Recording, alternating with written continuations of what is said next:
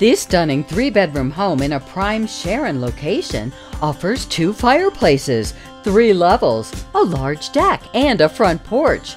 Jennifer Weinstein Kligman wants to help turn your dreams into a reality. Give her a call today.